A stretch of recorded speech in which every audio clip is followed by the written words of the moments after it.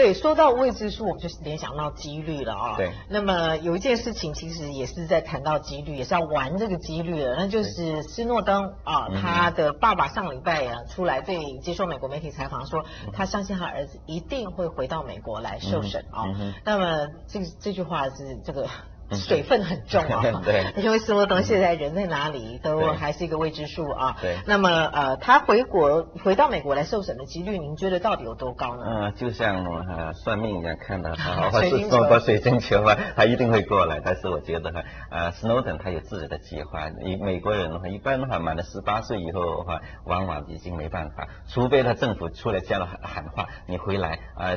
美国政府不会像其他独裁制政府一样的话，抓住的人你。不回来，我这我处罚你株连九族这样子，他们不会这样子做。毕竟的话，他已经成人了啊。那回来的几率的话很难说，他现在人在哪里，我们现在还不知道啊。所以，但同时的话，美国政府虽然是口头上现在指控是三项所谓的窃取国家机密啊，还有不当的 disclose 的泄露国家机密啊啊这些东西里边的话，呃，这是都是可以最高十年的。但是的话，在联邦的审理程序里边啊，回来之后，如果他过去一个多月里边的话，呃，不单只泄露一些国家机密，还构成了一个所谓叛国罪啊，这种情形的话，他是可以判处死刑死刑的。对，我跟你讲，Daniel，你现在提到的这个什么叛国罪啊，我觉得很好奇，因为自从斯诺登的事情发生之后，很多人就说他到底是背背叛了谁？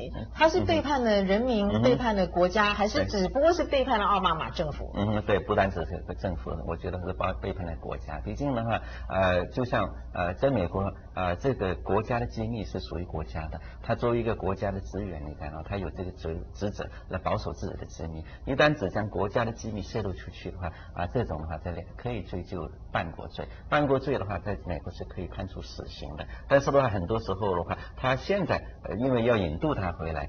很多国家是反对死刑的，呃，这种情况之下，他不一定会说啊，回来以后我要追究叛叛国罪，但是他回到来了之后的话，他永远可以保留一个权利。我发现有更多的资料证实他叛背叛了美国，这种的话是追究死刑的的可能性也有不排除的。所以我觉得在目前的话啊，他爸爸对喊话也好的话，这有信心也好的话，那只是一个猜测而已了。嗯，OK，那么反正不管怎么样，斯诺登这个案子还会持续是全球关注的焦点，那当然也是我们这个节目关注的焦点。